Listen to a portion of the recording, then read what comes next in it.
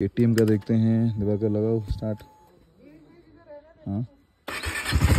हो गया भाई। एक बार में स्टार्ट हो गया। अब होंडा का भी देख लेते हैं। क्या सीन है। Vijit so Honda cold start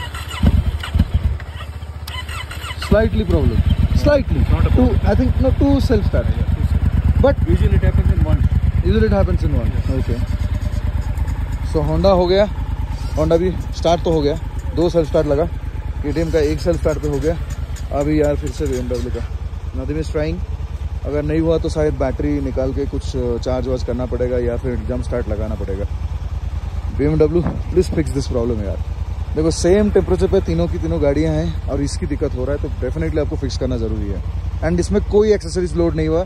ऐसा बिल्कुल भी मत बोलो कि इसमें एक्सेसरी है, उसी की वजह से प्रॉब्लम हो रहा है। This is a problem with the bike it it's a completely new bike चार महीना पुरानी बाइक है।